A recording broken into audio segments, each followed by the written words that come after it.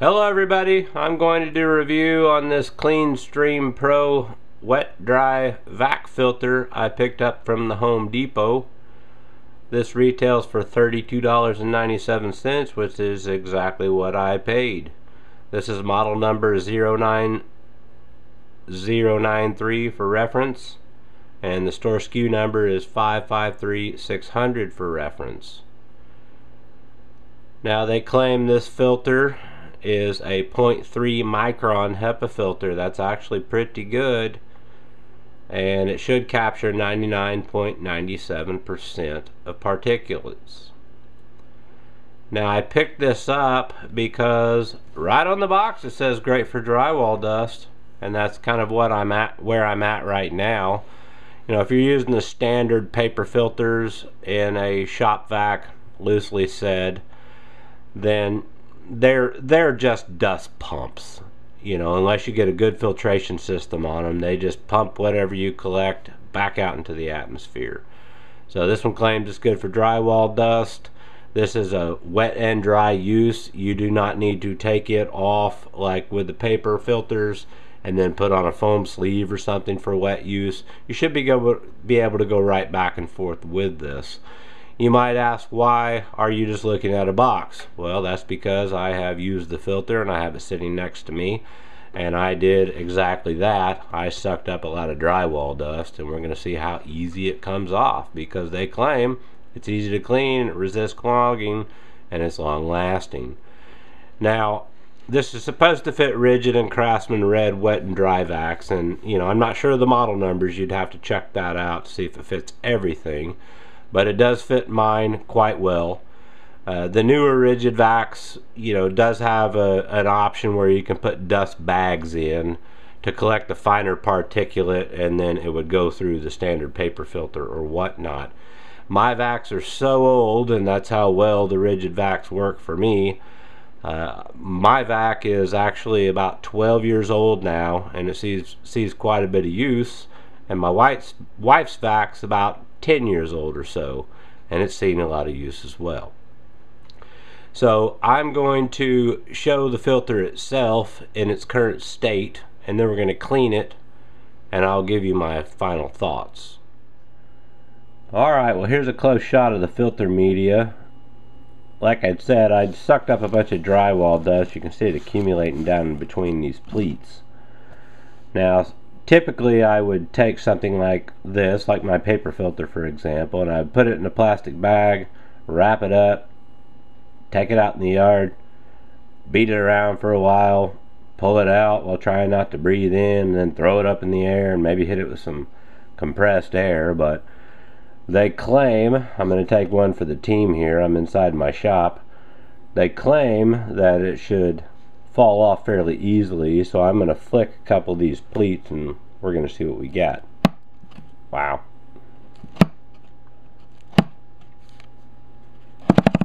Hopefully you can see that drywall dust just flaking right off there. I'm going to wrap it up in the bag and do that very thing that I would normally do and then I'll bring it in and we'll see where we're at and then we're going to wash it. Alright, well I took it outside inside the plastic bag like my normal process and gave it a few good wraps and kind of worked it around a little bit to knock most of it off. Then pulled it out and kind of ran my fingers on the fins, dropped it on the ground a few times, beat a little bit on it, and stuff was still coming off. So I'm going to go ahead and do another sacrificial test here to my shop and see if we get anything coming off. I see some very, very fine stuff. It might even not pick up on the camera. But it certainly did, at that stage, release everything that was on it. Alright, well here's a quick shot of one of the surfaces on the top. You can see this white substance here. That's the drywall dust that is still on it right here. It is like a talc. I mean it's very very fine stuff so it's very hard to filter out so I'm going to take it to the sink and wash it off and we'll move on alright well here it is straight from the sink I did no scrubbing or anything. I just simply rinsed it under running water and it is super clean now. I do need to note that before I used it to clean up drywall dust, I was cleaning up miscellaneous debris, dirt, this, that, and the other. And there was a coating of, you know, black or brown material over it. Then I sucked up the drywall dust. Uh, everything is gone just with a simple rinsing. The quality and construction of this I'm quite taken back with. Typically the paper filters and whatnot you would have a hole right here so when you put them on the vac you put the white nut on, nylon nut or whatever it is and cinch everything up. This one does not mount that way. There is a flexible type of a plastic ring on the top and it literally you just push it on and it stays and it makes a good seal right there. It is also lined on the internals right here with an expanded aluminum mesh. So that will help maintain its integrity and it won't collapse on you over time. Another feature that I have seen or a construction aspect is these pleats where they're down in this plastic they're actually physically embedded in it. They do not move. That is where it is.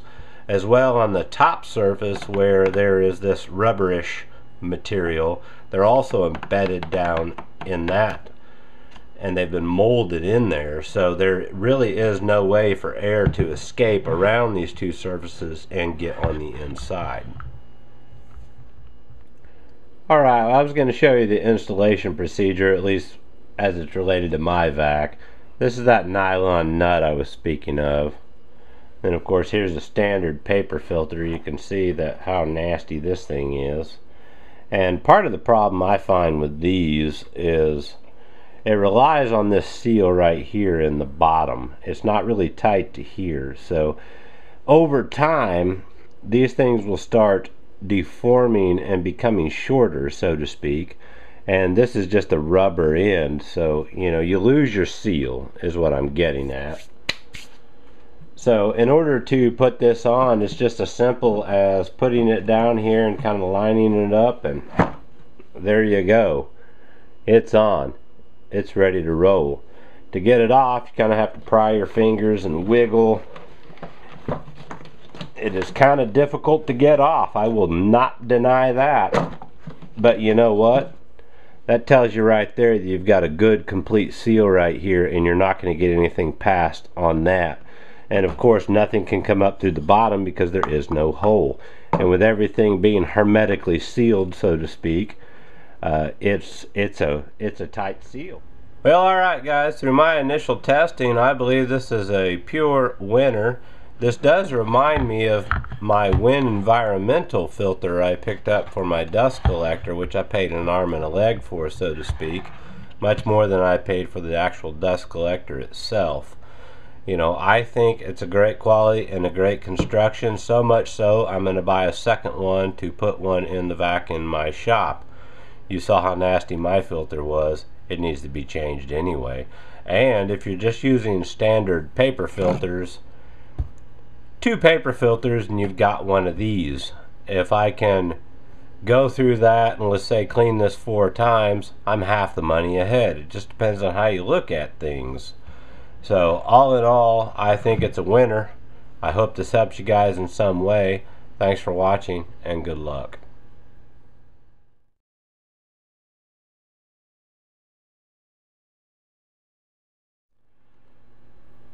Hello everybody, I'm going to do a review on this CleanStream Pro wet dry vac filter I picked up from the Home Depot. This retails for $32.97, which is exactly what I paid.